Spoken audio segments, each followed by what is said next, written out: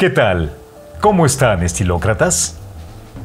Estilócratas, hoy les tenemos un tema que a todos los interesados del mundo de la cultura e intelectual les gustará.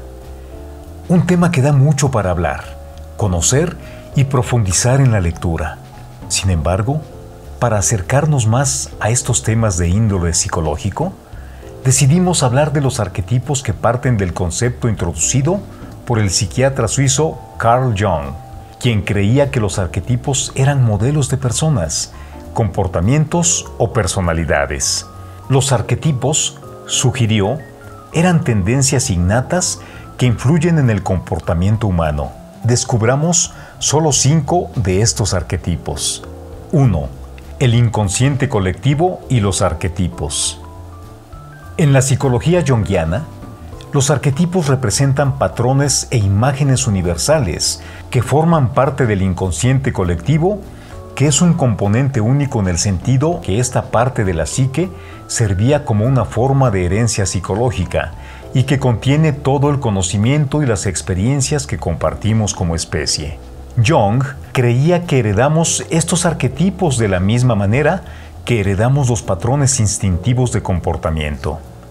Los arquetipos son modelos innatos, universales y hereditarios. Esas imágenes primordiales, como las denominó inicialmente, sirven como una base fundamental de cómo ser humano.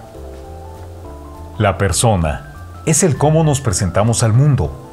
La palabra persona se deriva de una palabra latina que literalmente significa máscara representa todas las diferentes máscaras sociales que usamos entre varios grupos y situaciones.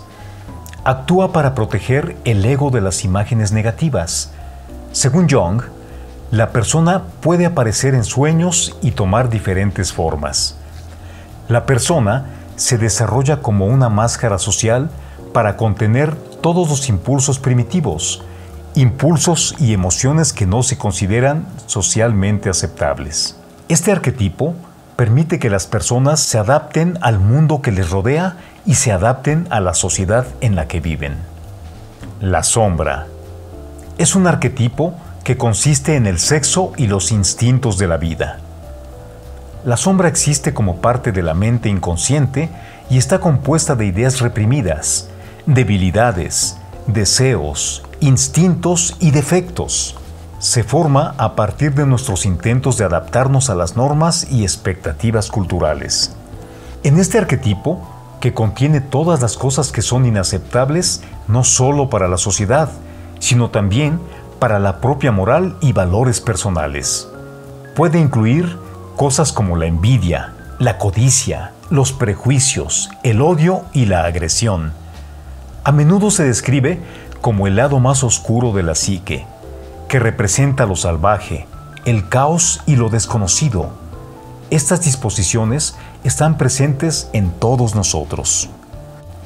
El héroe es una figura de poder que se caracteriza por luchar contra la sombra, es decir, que mantiene todo aquello que no debe invadir la esfera social para que el conjunto no se vea perjudicado.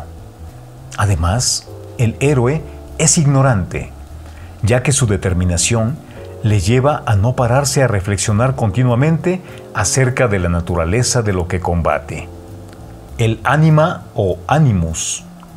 El ánima es una imagen femenina de la psique masculina y el animus es una imagen masculina de la psique femenina. El ánima animus representa el verdadero yo, en lugar de la imagen que presentamos a los demás, y sirve como la principal fuente de comunicación con el inconsciente colectivo.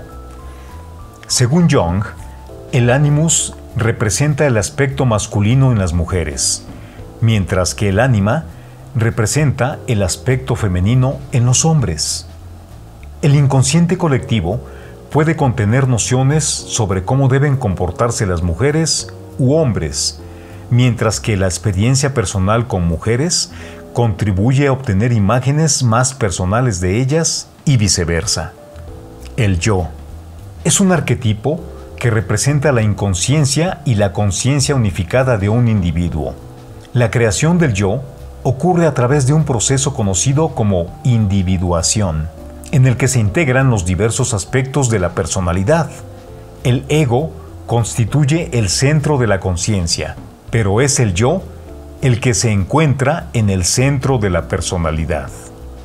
Estos fueron solo cinco de los arquetipos que existen, pero que el número existente de los arquetipos no es fijo.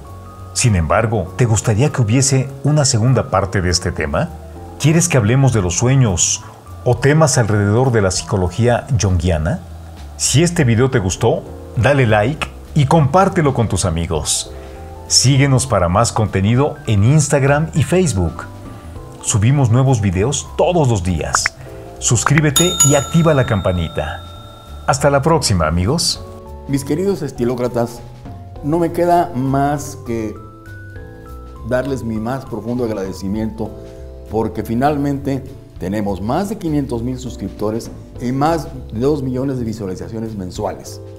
Y con estos 2 millones de visualizaciones, queremos ofrecerles a ustedes la posibilidad de promoverse a través de nosotros.